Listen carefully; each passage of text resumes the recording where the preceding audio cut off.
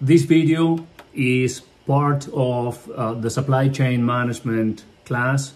This particular video is about managing business to business relationships in the supply chain. We are going to address uh, what I think are key relationship management uh, concepts um, that uh, help us understand um, relationship dynamics in the supply chain. First, let's uh, be a little bit ambitious and uh, let's try to summarize in one slide the last 100 or 120 years of marketing.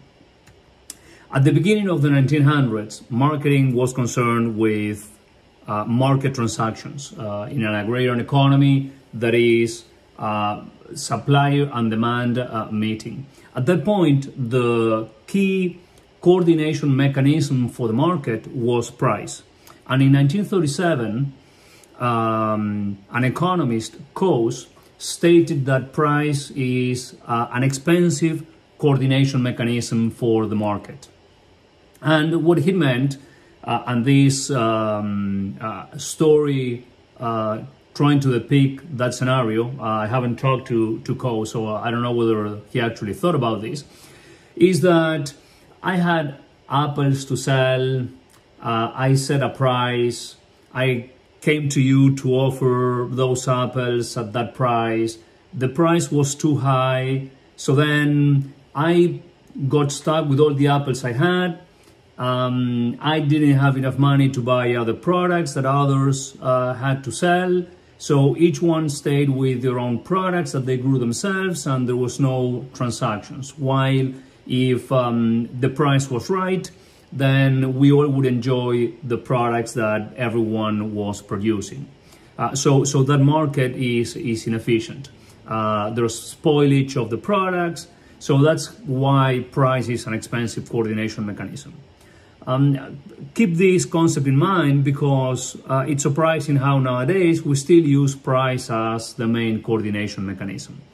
Anyway, let's fast forward like 50 years and what is called the functionalist view of marketing was developed. And the functionalist view of marketing is around the four marketing P's. And I know that now people say there are more, but four P's is simple enough to make the point and uh, we will all uh, understand. But the four marketing P's are product, price, promotion, and place. And the functionalist view is that every time a customer uh, intended to buy a product, um, the customer would do like an equation, like a weight of each of the four P's. And if the four P's were in harmony, if they fit, if the price was right, the product was available, the product had the features that I liked, then um, uh, the customer would decide to purchase the product. Um, at that point, it's called functionalist view because each transaction was a function of the four P's, and at that point, there was no assumption that there was a prior um, like or dislike from the customer in terms of that product. That's why, again, fast forward 10, 15, 20 years more, uh, customers started to real um, scholars started to recognize that customers after uh, having executed multiple transactions then there was a latent relationship established uh, with the product or the company um, and this is when the concept of customer retention came about and probably you heard that idea that is uh, easier or less expensive to sell something to an existing customer than, sell, than selling the same thing to a new customer. From customer retention, then around the 80s, both in, in the Nordic School of Marketing and, um, and, uh, and in the US and in Europe, uh, the, the idea of long-term relationships uh, came about. And, and, there are a couple of very interesting tricks in, in, in long-term relationships. By definition, uh, long-term relationships or managing long-term relationships is about establishing, maintaining, and developing relationships, being profitable, being profitable. They're not saying generating revenue, being profitable, and both being both companies being profitable, so that the objectives of the parties involved involved are met. And again, this is an interesting twist because uh, this definition recognizes that the objectives of each uh, party involved in the relationship might not be exactly the same, but they are they fit. They fit with their individual objectives uh, in terms of profitability. Since mid 2000, the idea is the focus on service. Um, for, for, for several years, it has been viewed that service is a key differentiator. And uh, what's interesting about the focus on what is called the, ser the service dominant logic for marketing is that uh, service requirements are discovered as the business relationship evolves. So I understand more about you and you understand more about me. And, and, the fact that we understand each other, then we can develop or tailor or, or um, um, uh, create uh, service components that go together with the prior offerings that we, that we had. The boundary is, or, the, the, the frontier is understanding that, that the physical product is it's a means of transportation of uh, the service um, that that they that, that they render. Now, we should not forget the marketing concept because I believe that now um,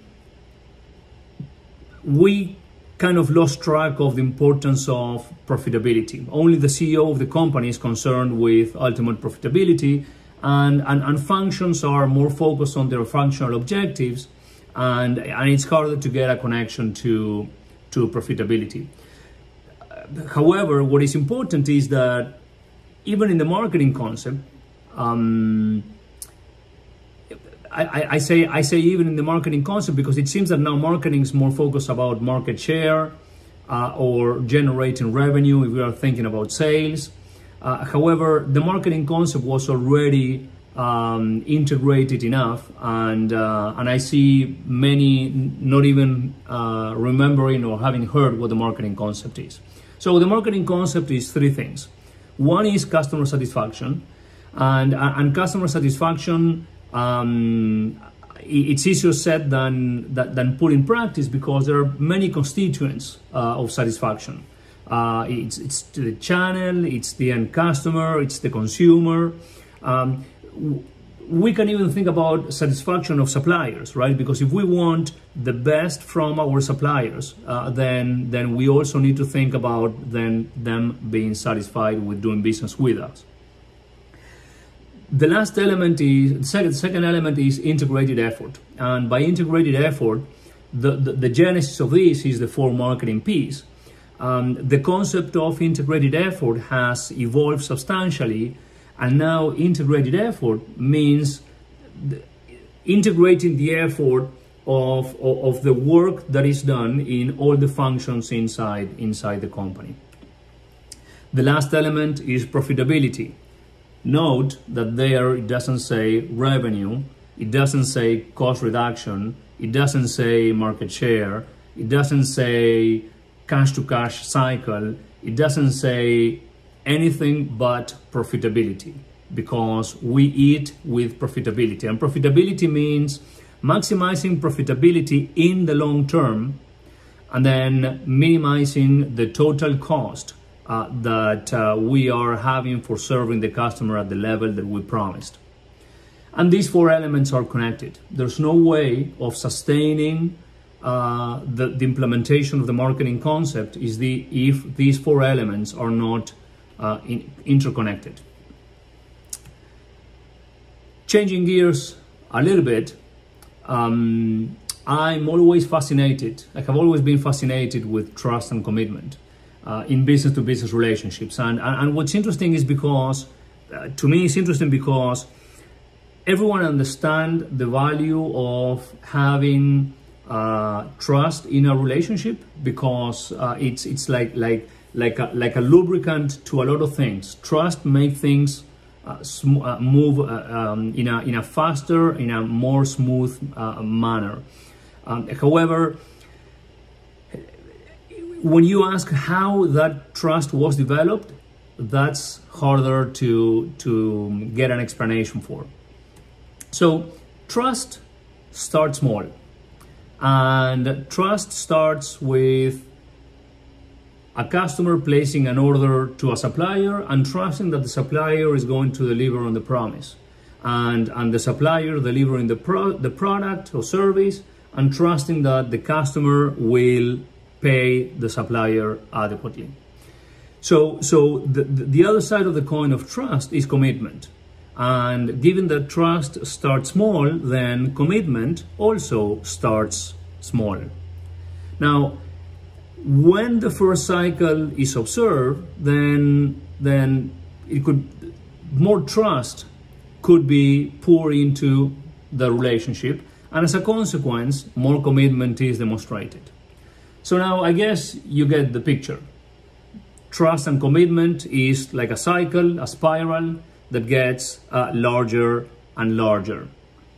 Now, what I find interesting about this is that so the story is that I was uh, teaching an undergrad class about trust and commitment in a business to business context, and I wasn't sure whether they were understanding or not.